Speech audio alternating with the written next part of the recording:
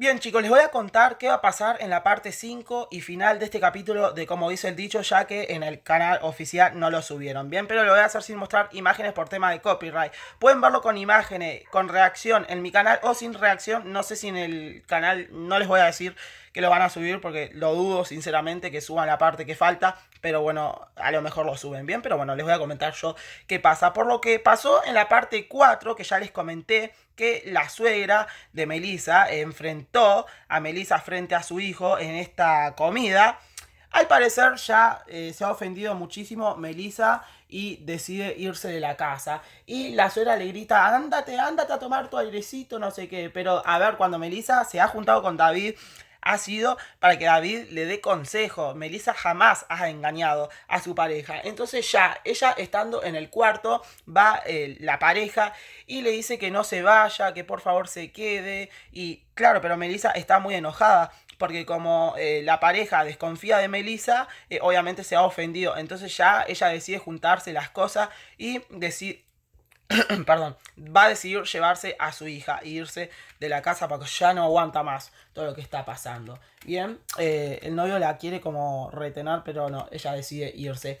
Entonces, ¿qué pasa? Melissa no tiene a dónde ir, entonces el amigo David le ofrece a ella quedarse en la casa, ¿bien? Melissa va a la casa de su amigo, ¿bien? Mientras tanto, la pareja de Melissa está meta a llamar a Melissa porque quiere arreglar las cosas y mientras está llamando a Melissa, que Melissa no le atiende, la madre de la pareja está siempre metiendo cizaña, que qué es lo que le gusta de ella, que por qué la busca, si lo engañó, le metió los cuernos, pero a ver, yo quiero decir algo, la madre de él sí alcanzó a ver a Melissa como que abrazando a David, pero se están abrazando porque eran amigos. Y la vecina, cuando vio a Melissa, que, a ver, David acompañó a Melissa a la casa y afuera de la casa se dieron un abrazo. Cuando la vecina lo vio, ella ni siquiera tenía los lentes, acuérdense que no ve bien eh, sin los lentes. Entonces ella no sabe tampoco al 100% qué es lo que vio.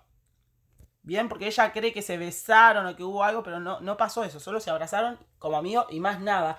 Obviamente, em, bueno, David ya está en la casa con Melissa y eh, le da una recámara para que ella pueda dormir. Y David le dice a Melissa, tú vas a dormir acá y yo voy a dormir en la sala. No le falta el respeto ni nada. Pero ¿qué pasa el otro día? David al parecer le gusta Melissa. Entonces como que la encara y le dice lo que siente por ella y bueno, pero Melissa le dice que no, que no se confunda, que ellos son amigos, que ella lo ve a él como un amigo. Obviamente se entienden los sentimientos de David y todo, pero Melissa todavía sigue enamorada de su pareja. Y aparte es una mujer creo que casada, entonces imagínate, obviamente por todo lo que pasó, ella decide eh, tomar espacio, o sea, ya no va a estar en la casa del amigo. Bien, eh, fue lindo, ¿no? Que David le haya querido ayudar, pero bueno, ella obviamente quiere estar distante, ya que eh, ella no puede con esto, ya que ella lo ve a David como un amigo. Bien, la pareja de Melissa eh, enfrenta a la vecina chismosa que le ha ido con el cuento a la madre, ¿bien? Entonces ella le termina confesando que no sabe al 100% que Melissa haya estado a los besos con David, ¿bien? Porque ella eh, cuando lo vio no llevaba los lentes puestos. Entonces como no sabe,